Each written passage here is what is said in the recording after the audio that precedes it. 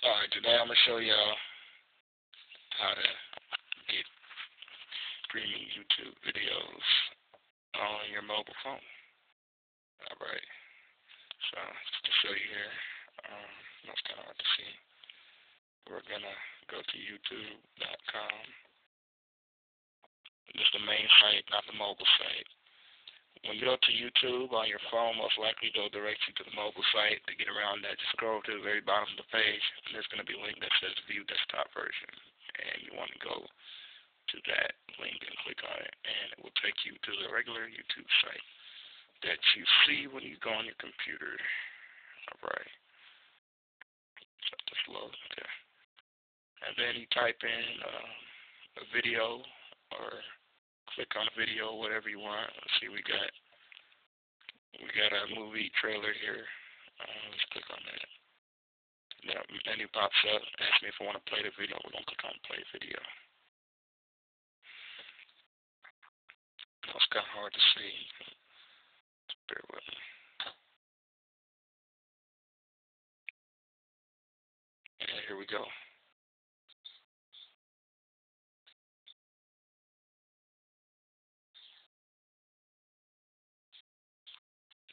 Is a YouTube video. Again, this is the actual YouTube.com site that you would go to on your computer.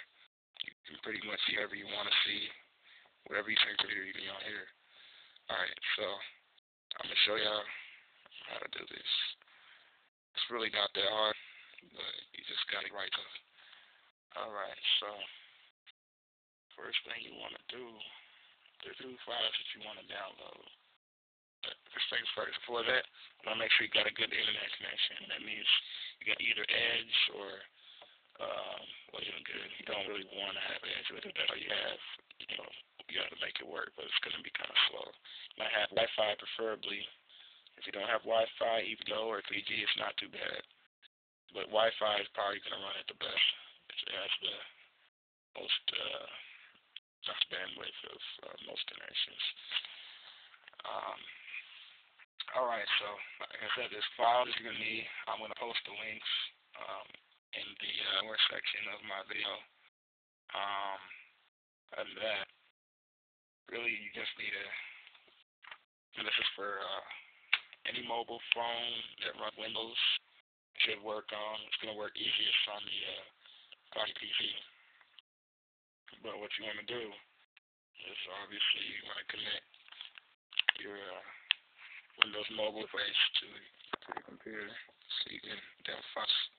So we're going to turn off Wi-Fi here. And then I'm just going to plug the cable into the phone.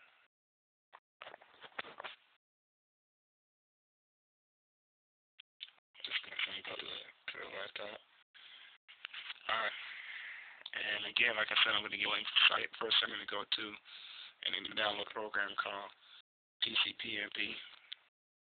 Um, this is a video player. This is um, better, I think, better than Windows Media Player. And of course, Windows Media Player cannot play Flash files, so the site looks like this.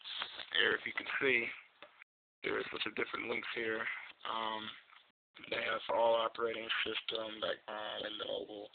If you have a Pocket PC, if you have a Windows device with a touchscreen, you're going to download that one there that says Pocket PC. If you have a smartphone like Dash, it doesn't touch screen, you want to download TCDX smartphone right there, the second one bottom. Okay.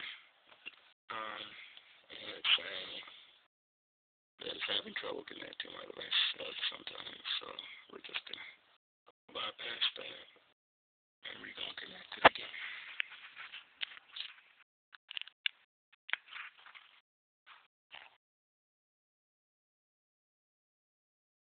Okay, I'm trying to make this quick, but really it doesn't take that long. Take you 10 minutes at the most. Okay, so once you've downloaded the file,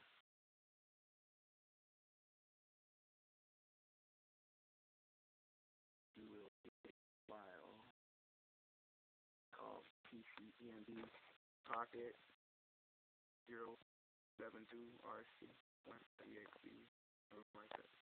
And you want to go to file, or if you have it, you want to open a file. Blind.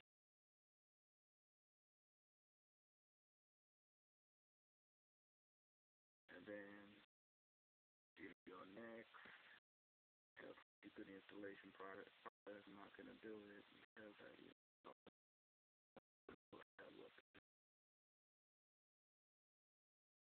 that will install it on your device. The device is connected.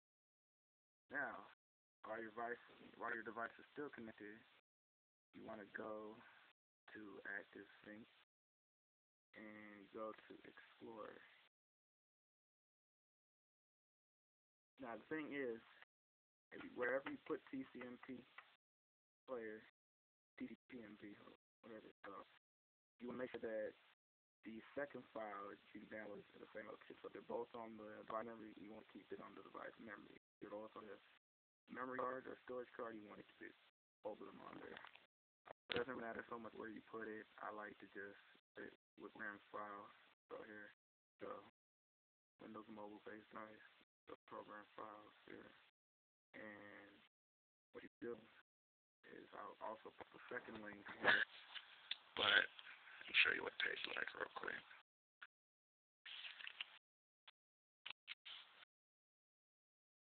Some.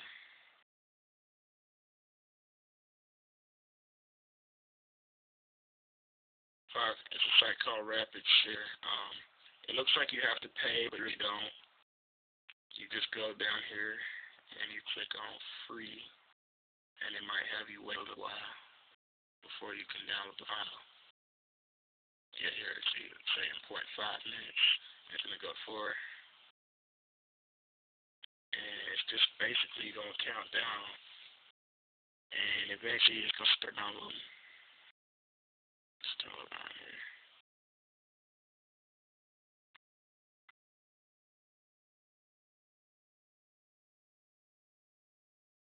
This has the most up-to-date file of the flash bundle. So then you're just gonna want oh here type in this little image they have. You want to type what you see there.